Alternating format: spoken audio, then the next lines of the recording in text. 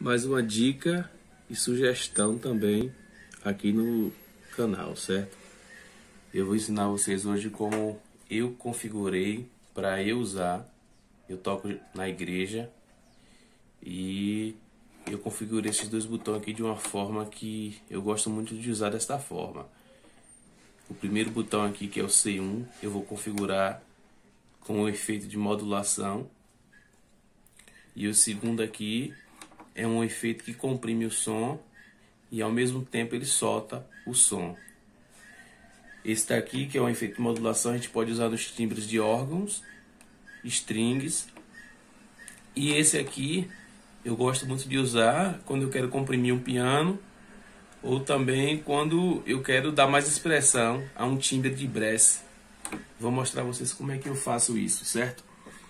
Vocês vêm aqui em System e aí vai aparecer essa tela aqui, ó, no teclado. Aí você vem aqui em F4, ó, Control. Observe que nesse F4 aqui ele tem várias funções em um único botão. Se você apertar novamente o botão F4, vai mudar, ó. Ó, tá mudando, mas eu quero que ele fique nessa parte aqui, ó.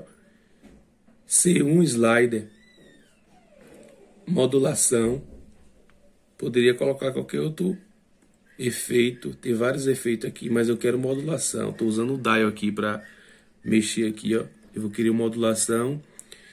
E o segundo eu quero esse, esse efeito aí, ó. O Bridgestens, que é o número 74, certo? É isso aí, tá configurado e agora eu vou demonstrar a vocês como é que eu faço, como é que eu uso geralmente na igreja. Ele tá, geralmente quando eu ligo o teclado eu deixo eles dois baixos. Aí tá aí um órgão aí.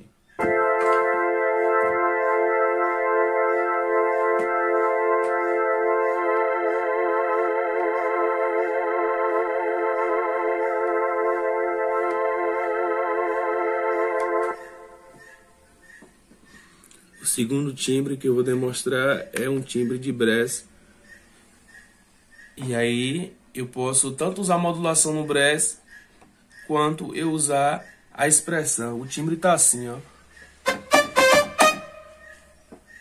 Quando eu aciono aqui, ó,